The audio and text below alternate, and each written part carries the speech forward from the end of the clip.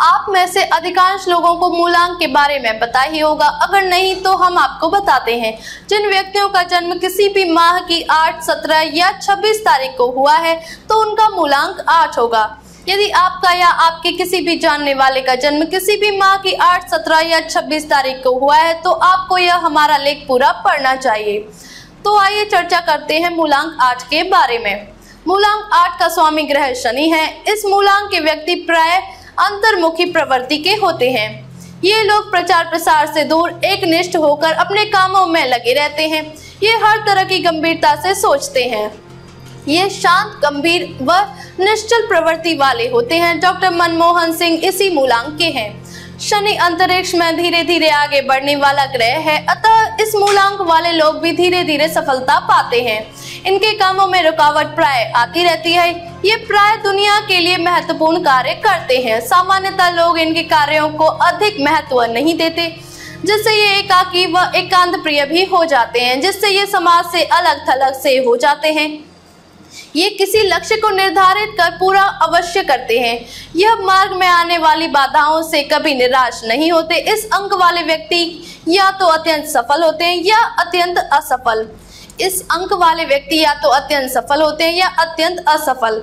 मध्य मार्गी कम ही मिलते हैं। ज्योतिषी बी वी रमन, अभिनेता धर्मेंद्र, दादा कोडके डिम्पल कपाड़िया आदि मूलांक आज के ही उदाहरण हैं।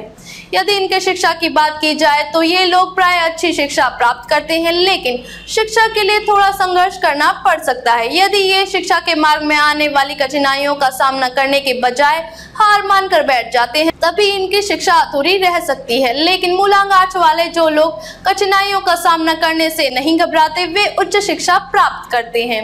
यदि इनके आर्थिक स्थिति की बात की जाए तो इनकी आर्थिक स्थिति को अच्छा कहा जा सकता है, क्योंकि मूलांक आठ वाले लोगों में संग्रह करने की अच्छी प्रवृत्ति होती है। ये फिजूल खर्ची बिल्कुल नहीं करते। जो भी खर्च करते हैं, बहुत सोच समझ कर करते हैं। यही कारण है, ये काफ़ी धन इकट्ठा कर लेते हैं और धनवान हो जाते हैं। यदि इनके संबंधों की बात की जाए तो सामान्यतः मूलांक आठ वालों का अपने मित्रों, परिजनों तथा अपने भाई बहनों से सामान्य सा रिश्ता ही रहता है।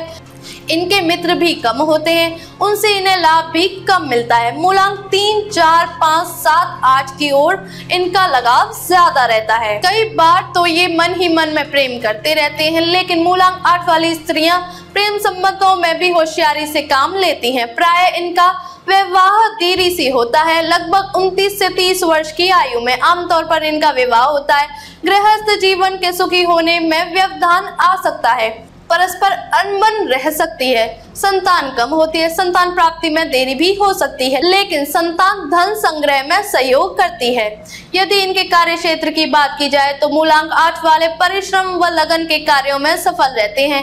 ये doctor chemist hardware store transporter ठेकेदार मशीनरी पर काम करने वाले के रूप में देखे गए हैं। अगर आपको वीडियो पसंद आई हो तो वीडियो को लाइक करें। शेयर करें और हमारे चैनल को सब्सक्राइब करना ना भूलें। अपने सपनों का घर बना रहे हैं। एपी कंस्ट्रक्शन सॉल्यूशंस आपके लिए तैयार है।